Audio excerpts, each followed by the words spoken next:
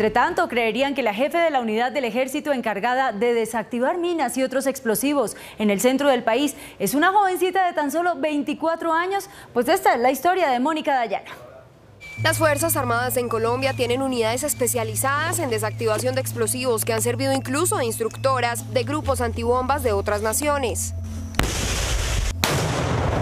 Los grupos Marte, distribuidos en las diferentes divisiones del ejército, conformados por expertos en desminado, activación y desactivación de armas explosivas, recorren el país con trajes antifragmentación, cascos balísticos y chalecos antibalas para evitar que civiles caigan víctimas de estos artefactos.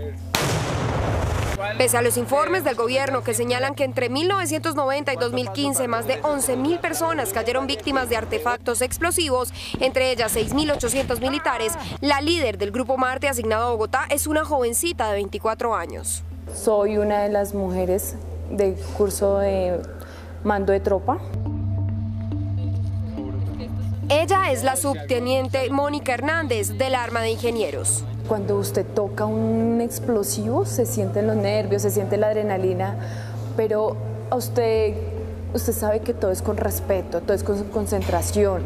Asegura que además de enfrentar el miedo y la presión durante la desactivación de un artefacto, también se ha enfrentado al impacto de ver víctimas de estos explosivos. Es una mujer, no sé si algunos pensarán, de pronto va o no va al área de operaciones, pero a mí también me duele lo que le pasa a ellos.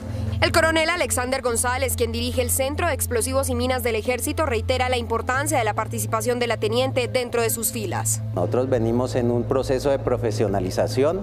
Dentro de todo este proceso está en darle a la mujer ese papel tan importante que tiene dentro de la fuerza. Dice que está preparada para reaccionar ante cualquier emergencia. Estoy lista, sé que la responsabilidad que tengo, tengo claro mi grupo y tiene claro los procedimientos. La teniente Hernández asegura que seguirá controlando el pulso y fijando su mirada para contrarrestar el flagelo de los explosivos y las minas.